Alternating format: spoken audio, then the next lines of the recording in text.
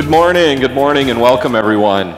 Uh, welcome to our first annual uh, Linux Foundation uh, L3 event in China. I am so happy to be here. Uh, what an amazing group we have. Uh, we have over 2,000 people here today, so welcome to everyone. We have seen incredible support uh, here in China. Uh, in particular, from the sponsors of this event, I want to thank our sponsors. Uh, in particular, our strategic sponsor, Huawei. Uh, let's hear for Huawei. Our diamond sponsors, Alibaba Cloud, Microsoft, and SUSE. Our platinum sponsors, Kai Cloud, and our gold sponsor, the Cloud Native Computing Foundation and Red Hat. Let's thank our sponsors again. I also want to welcome a few new members uh, to the Linux Foundation. You know, in China, uh, participation from Chinese companies in the Linux Foundation in the last year has grown 400%. The number of companies from China participating in our organization has grown up four times. And our newest members are China Standard Software, Emend, Tencent, and then finally, uh, Alibaba Cloud has upgraded to our gold membership. Please thank our newest members. So I thought I would start out today by talking about the state of open source. So open source has really started to grow into more than just a small group of developers working on a small group of projects to really a new phase.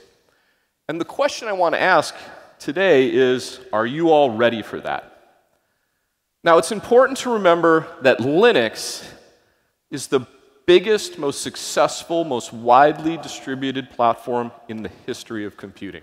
Look at these numbers. It's amazing. But you know, my favorite number aren't these. My favorite number is this 10,000 lines of code are added to, 5,000 lines of code are subtracted from, and about 1,800 lines of code are modified in Linux every single day. 365 days a year. It's the fastest moving, fastest developed project in the history of computing. Uh, and many of the core developers of Linux, including Linus Torvalds, are here this week. We're very, very happy to have them. That's right. And the Linux Foundation continues to grow. Today, the Linux Foundation has over 800 members. We gather tens of thousands of developers all over the world at hundreds of events like this. The combined value of the projects that we host at the Linux Foundation is worth billions of dollars. And the software that the Linux Foundation hosts runs most of global society most of the world's stock markets, most of the world's embedded devices, most of the internet. It is tremendous to see the growth that we're experiencing at the Linux Foundation. And today, the Linux Foundation is much, much more than Linux. As open source becomes an important part of every modern computing system, the Linux Foundation has expanded into new areas of technology, new sectors of computing, with projects like Hyperledger, which is our blockchain initiative. Many, many members from China in that effort. How many people here have heard of Kubernetes? How many people here know Kubernetes, right? One of our uh, newest projects. We have a huge number of projects in the networking sector. In particular, the Open Network Automation Platform, ONAP, which is a combination of a project called ECOMP from AT&T, but more importantly, a project called OpenO, which was started here in China by China Mobile and Huawei, and is now the biggest network management orchestration uh, project in the world. Started in China and now expanding all over the world. Node.js is one of our projects. Cloud Foundry is one of our projects. We have an automotive project called Automotive Grade Linux, which is being rolled out into millions of production vehicles from companies like Toyota this year. So we've come a long way as an organization. And it's not just the Linux Foundation. We are entering an entirely new phase of software development. You know, in the first phase of open source, in the early days of open source, open source projects tended to copy existing proprietary software, copy the functionality, that is. So a database, you know, sort of MySQL was an open source version of Oracle database, you know, uh, Linux was competing with proprietary operating systems. But what was happening is free alternatives to expensive proprietary software we're sort of shrinking the market, right? And sort of creating more efficiency by commoditizing those markets. Today, we are entering an entirely new phase. Today, new economies are being created from open source projects. Today, open source projects aren't copying existing technology, they're leading new technology. With projects like TensorFlow in machine learning and artificial intelligence, Hadoop in big data, Kubernetes and Cloud Foundry in the cloud, all creating completely new ways to think about technology and creating completely new multi billion dollar economies around these open source projects. It's an entirely new phase.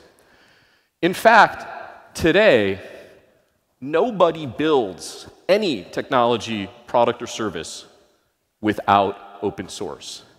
You know, in the past, organizations might use a little bit of open source, but today, there's so much software in anything, whether it's an automobile, a consumer electronic device, whether it's the Alibaba cloud, whether it's a Xiaomi cell phone. There are millions and millions and millions of lines of code in anything. There's just too much software to be written for any one organization or person to write it by themselves. And so today, most organizations, the vast majority of the code in any product or service is open source. And companies instead only focus on the small percentage of code that actually adds value to their customers that they know best.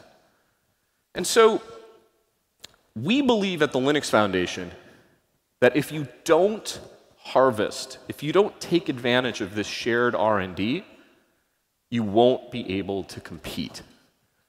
Organizations that aren't good at taking open source software, bringing it into their organization, modifying it for their needs, and then creating products and services for their customers with that open source, if you can't do that, we don't think you'll be competitive. So, the question for all of you today, the question for all of you to think about this week is Are you ready for this new phase in open source? Are you able to get to market faster by leveraging shared R&D like the Linux kernel or Kubernetes or TensorFlow? Do you understand how to bring code in, modify it, and then share it back with your competitors.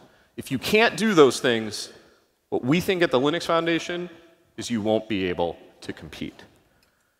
The good news is, the good news is, there's lots and lots and lots of open source software. Millions and millions and millions of open source projects. On GitHub alone, there are 64 million open source repositories. The Apache Software Foundation has hundreds of projects. The Eclipse Foundation has hundreds. The Linux Foundation has dozens and dozens of projects. And so the good news is that there's lots of open source for you to use. The question you should ask yourselves is which open source projects really matter?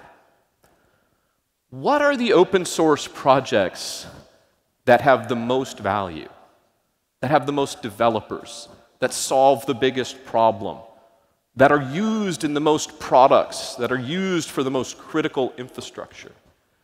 And at the Linux Foundation, we think about this question all the time. How do we identify the most important open source projects in the world? And then how do we create a sustainable ecosystem around those projects? We think that the most important open source projects in the world are those that have sustainable ecosystems. Code that solves a big problem, that's used to create value in commercial products and services. That value is then invested back into the project which gets more code, which begets more products and services, which begets more value reinvested back in the project. It looks like this. At the Linux Foundation, our goal for every project that we work on is to create this a trusted structure where anybody from any company, from any country, from any government can come in and use open source code from one of our projects to create services, to create products that create profit, that create value, that gets reinvested back into the project. And that software you can count on for 5, 10, 20 years. The Linux kernel is the best example of this in the world. But today, there are lots of other projects such as Node.js, such as uh, Kubernetes, such as Hyperledger, that are just starting to enter this loop. And we think that these projects are not just important at the kernel level at Linux, but we're working on projects up and down the entire technology stack whether it's at programming frameworks like Node.js, networking technology like Open Network Automation Platform, data plane services like DPDK, FD.io. We're creating value, creating a complete stack. But we think we can do even more. Because not only are these projects sustainable and important, but we think we can lend best practices across all of these projects. So today we have initiatives like the Core Infrastructure Initiative, which is applying security best practices across all open source projects. Secure coding practices, better test coverage, responsible disclosure policy, shared security knowledge across all open source projects. We're building foundations that create a decision making structure best practices around how to grow developers in your community across all open source projects. We're creating the intellectual property sharing frameworks that allow organizations in any open source project to share what they want to share and keep what they want to keep. And finally, we're providing training. Training in the form of developer courses, developer testing and certification so that we can train the next generations of developers on this new technology and grow our communities even bigger, no matter what community it is. And so we are here in China at this event for the first time to work together with the incredible community here. You know, China is home to some of the most innovative technology companies in the world. You know, 10, 15 years ago, people used to say, oh, well, Chinese companies, they just sort of copy what American companies or other companies do. That's not China anymore. Chinese companies are innovating here, creating incredible original products and experience. Companies like Huawei, leading network technology provider in the world and services company in the world. Companies like Tencent, Alibaba, Baidu, many, many others. And we think that as the companies and people here in China grow the in technology industry, that big open source efforts will come out of China and join the rest of the globe in this shared innovation. And like I said, the Linux Foundation has grown 400% in the last year here in China. Look at all these companies that are participating in the Linux Foundation. And we would love any individual, any organization, you don't even have to join to come and participate in our projects. But most of all, I do want to thank Huawei. You know, I met with Huawei's management team, their CEO, Eric Xu, many years ago, and Huawei made a strategic bet on open source and became the first platinum member of the Linux Foundation and now sits on our board of directors.